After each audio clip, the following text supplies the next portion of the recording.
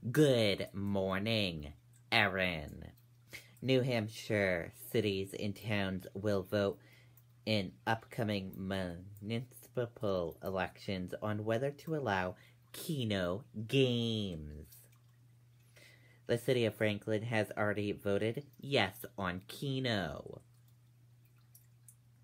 In Manchester, a special meeting was held at City Hall Tuesday night for people to discuss Keno, but no residents showed up to speak for or against the issue.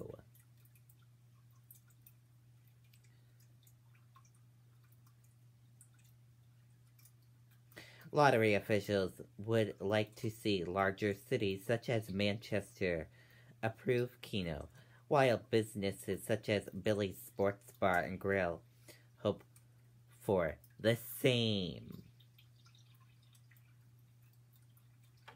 Almost every community the lottery approached agreed to the option of leaving it up to their voters.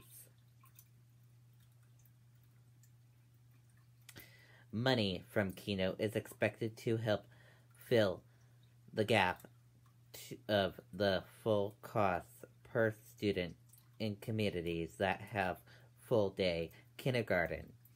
Some say that makes it a win win. Officials are also looking to bring back the 25 million New Hampshire residents spend on Keno in Massachusetts every year.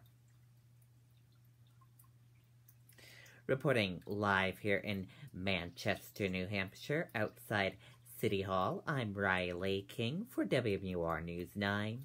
Erin, back over to you.